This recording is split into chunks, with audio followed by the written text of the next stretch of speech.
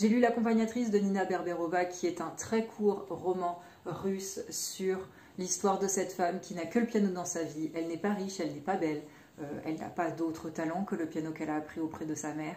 Euh, elle vit dans une misère totale et elle est euh, recueillie par une femme qui a de l'argent, qui est belle, qui a un monde à ses pieds, qui chante comme jamais, qui est adulée par tout le monde. Et la narratrice va en venir à nouer une relation amour-haine extrêmement toxique avec euh, son employeuse. J'en garde un souvenir extrêmement prégnant d'un Paris pluvieux, d'un Paris des arts, d'un Paris euh, gris et de, cette histoire qui raconte cette rivalité, cette misère qui questionne le est-ce qu'on est forcément heureux quand on est tout, est-ce qu'on est forcément malheureux quand on n'a rien. Vraiment, c'est un petit bijou, c'est très court, euh, ce serait vraiment dommage de passer à côté.